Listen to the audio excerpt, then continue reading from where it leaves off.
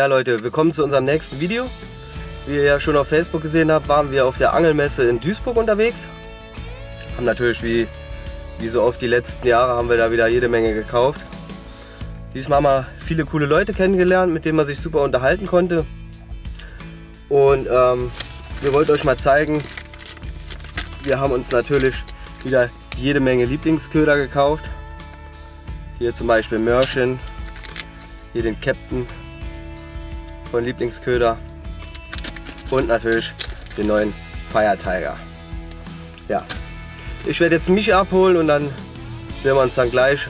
Schalte mal ein und der Rest wird dann nachher im Wasser erklärt.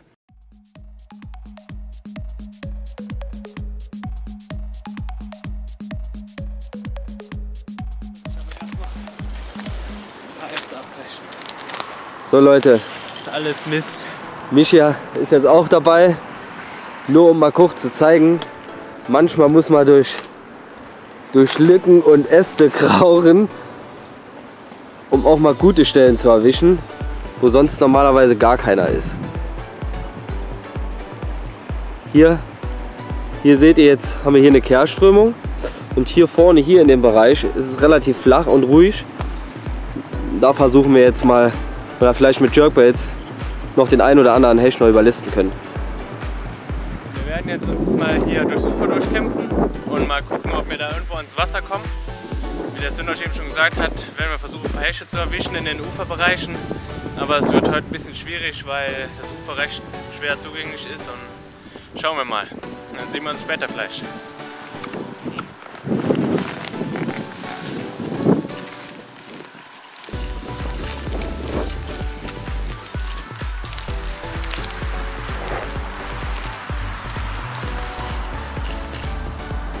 Und Michi, wie läuft's? Jetzt noch nichts. Hast du für einen Köder drauf? Also, momentan angeln wir mit dem Buster Jerk in Hechtdekor. Hat ungefähr 12 cm und so um die 30 Gramm Wurfgewicht. Ja, und jetzt schauen wir mal, ob vielleicht der ein oder andere Hecht vielleicht noch Lust hat, da drauf zu beißen. Alles klar, weiter geht's. Jo.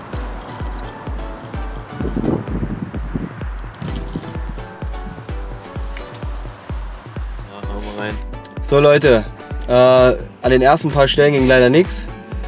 Und äh, wir werden jetzt mal einen Stellenwechsel machen, weil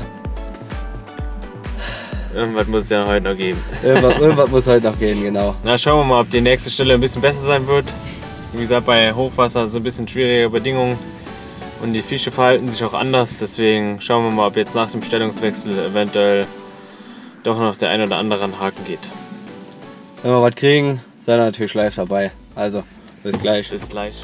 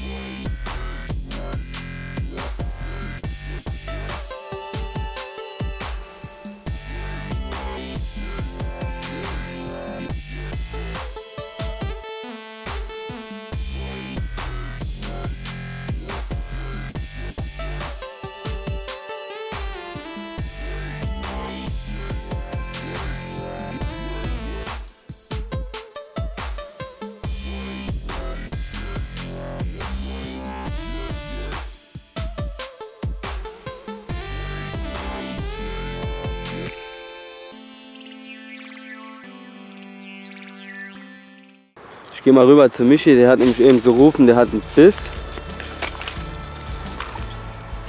Aber wie ihr seht, ist das gar nicht hier so einfach. Der Michi hat sich nämlich wieder irgendwo in irgendein Loch verkrochen. Da ist er. Und Michi, hat's Biss gehabt? Ja, ich glaube, war ein kurzer Biss, aber ich muss hängen geblieben. Ah, schade. Das ist natürlich schade.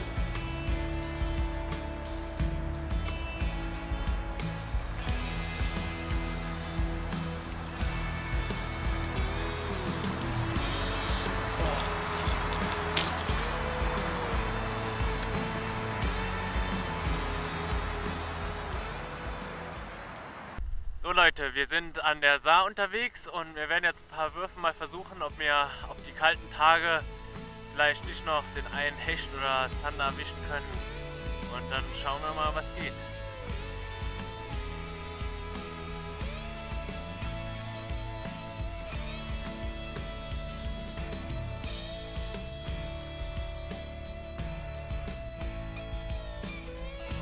Hier an der Stelle ging leider jetzt nichts.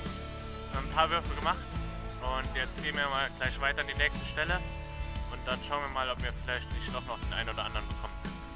Sollten wir es bekommen, äh, schalten wir die Kamera wieder ein und lassen euch wissen, wie es ausgeht.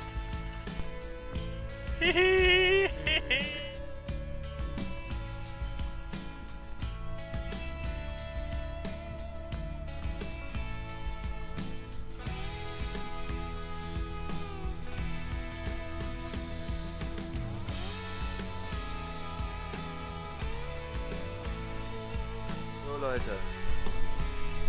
Wir haben jetzt eben nochmal einen Platz gewechselt.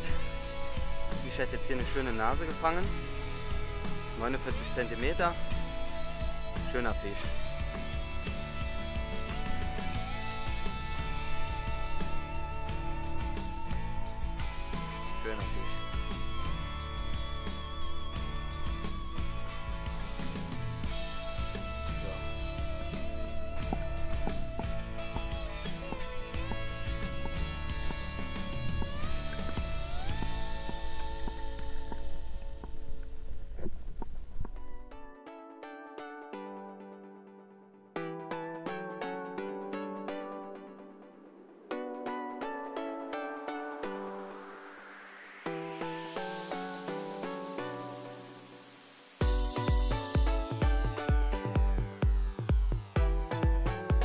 So Leute, wir sind jetzt am Ende von unserer Tour angelangt und äh, leider waren die Bedingungen etwas schwierig und mir nochmal ein kurzer Rückblick zu unseren Ködern, die wir jetzt in den letzten Tagen benutzt haben. Also einmal hier von Lunga City in einem gelb-braun, weil das Wasser war relativ trüb und der Köder hatte eine relativ grelle Farbe. Dann haben wir als weiteres Köder von Westin Fishing benutzt in einem blau-silber mit einer roten Schwanzflosse hinten dran. Und äh, ja, dann noch ein paar andere kleinere gängige Köder, die auch für den einen oder anderen Zander vielleicht ganz schmackhaft sind. Und äh, ja, okay, dann haben wir auch noch hier von Lieblingsköder das Mörchen ausprobiert, aber da gab es leider auch nichts. Jetzt Svenny hat versucht hier auch mit einem gelben Jigkopf noch auf dem Köder als kleinen Kontrast vielleicht, dass das vielleicht noch was gebracht hätte, aber gab leider auch nichts. Ja, wie eigentlich so bei jeder Tour von uns probieren wir natürlich auch die Jerkbaits weiterhin aus.